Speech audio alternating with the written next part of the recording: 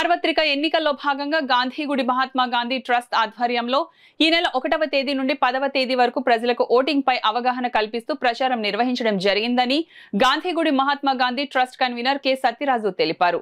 మంగళవారం ఆయన మీడియాతో మాట్లాడుతూ ఎన్నికలను విజయవంతం చేసిన ప్రతి ఒక్క పౌరుడికి ట్రస్ట్ తరపున ప్రత్యేక అభినందనలు తెలియజేశారు.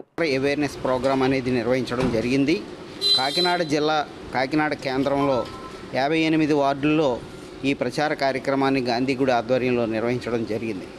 అట్లాగే జిల్లా కలెక్టర్ గారు అలాగే ఆర్ఓ గారు ఇచ్చినటువంటి అనుమతులతో ఈ ప్రచార కార్యక్రమాన్ని కరపత్రాలని ప్రజలకు పంచి చైతన్యవంతం చేయడం జరిగింది. ఈ ఎన్నికల్లో యువత మహిళలు పెద్ద ఎత్తున ఎన్నికల్లో పాల్గొనడం ముఖ్యంగా భారత రాజ్యాంగం కల్పించినటువంటి సార్వజనీన ఓటు హక్కు పౌరులందరికీ స్వేచ్ఛగా ప్రజాస్వామ్యాన్ని కాపాడుకోవడానికి ఎన్నికల్లో పాల్గొవాలి అనే స్ఫూర్తి చాలా బాగా పనిచేసింది.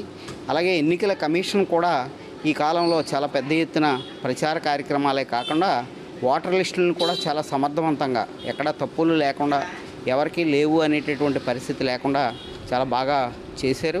ఈ కార్యక్రమంలో పాల్గొన్న ఓటరు మహాశైలందరికీ గాంధీగుడి ట్రస్ట్ ఆధ్వర్యంలో అభినందనలు తెలియజేస్తున్నాం. అలాగే జిల్లా అధికారులుగా ఉన్న జిల్లా కలెక్టర్ గారికి జాయింట్ కలెక్టర్ గారికి ఆర్ఓలకు ఇతర సిబ్బందికి పోలింగ్ సిబ్బందికి అందరికీ కూడా ప్రత్యేక కృతజ్ఞతలు. ఈ ఎన్నికల్ని విజయవంతం చేసినటువంటి ఓటర్లు మహిళలు యువతలు ముఖ్యంగా యువకులు చాలా ఉత్సాహంగా పాల్గొన్నారు. వాళ్ళందరికీ ప్రత్యేక అభినందనలు తెలియజేస్తారు